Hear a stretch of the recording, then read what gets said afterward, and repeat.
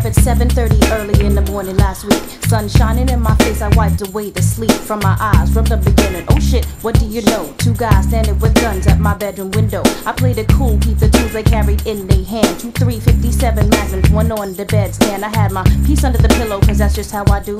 Started to reach for it, felt nothing, I guess they knew. One nigga started laughing and turned to his man. He said, I don't think that she knows about this plan. His man just smiled and nodded his gun at me and said, Get out of the bed. I complied with his wishes, bent down to grab my slippers. Nigga number one said, Hey now, no funny business, just do what we say and everything will be cool. You hear a lot of things today, but that's the number one rule. I said, What the fuck is this shit all about? We can discuss a problem and y'all can break the fuck out. Nigga number one said that we not able to do, but there's a tape deck on your table with a message for you. It said, Follow niggas one and two's instructions carefully. A fucked up things will happen if you dare to be a heroine.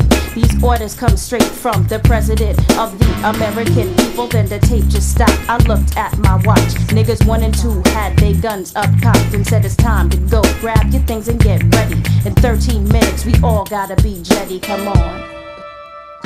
Sitting in the back of a van with cuffs on my hand. Six secret servicemen in black, one nigga in tan. Who's driving? For three hours we've been riding. Took Route 33 to a very small island and unloaded. Niggas one and two at my side. Number one glaring at me for the whole damn ride. They seem to travel in silence, express themselves with violence, and I'm the target, shoving me back and forth with very, very big guns. What would you do in this situation? No place to run in a remote location. Kept my patience and stuck to the tape's advice. Knew my crew could find me with the Negro tracking device. I wasn't worried, but niggas one and two hurried and stepped to the door where the president was kept. Punched in a passcode, I watched the door slide open inside. Stood the league and the president ropes, and my people said, Drop the guns, hop in your van, get the fuck off the island, or we're capping your man. The Secret Service men, man, what could they do?